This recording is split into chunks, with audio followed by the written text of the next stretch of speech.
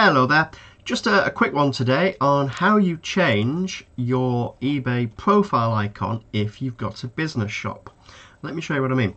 Um, if you, this is a business shop on eBay, if you click on your uh, profile drop down and try and change this photo, it will just take you back to this page, which is your shop page.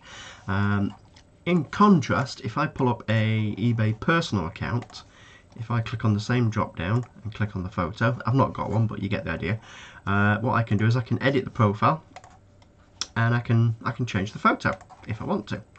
Can't do that on a business account. You are stuck with the icon that you first chose or the image that you first chose, the avatar you first chose when you set up the shop. However, there is a sneaky way to fix it. It's not well documented, so I just thought I'd share it. Um, what you need to do is you need to get to the edit profile version of this page, which is rather than the business shop, it's your actual eBay profile. And how you do that is click on your profile. So if you're not there already, click on the, the hello drop down, click on your image, and that'll get you to your uh, shop profile. Scroll down, and then what you want to do is click on about.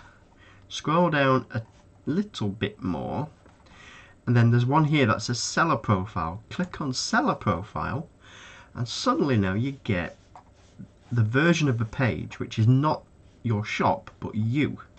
And now what you can do is edit the profile. Now you can edit this picture. So I'm going to remove the existing picture. Yes I want to remove that. And then what I can do is put my new picture and click save and now if I go to this drop down box, you can see that the picture has changed. I hope somebody finds that useful. It certainly helped me. Thanks for watching.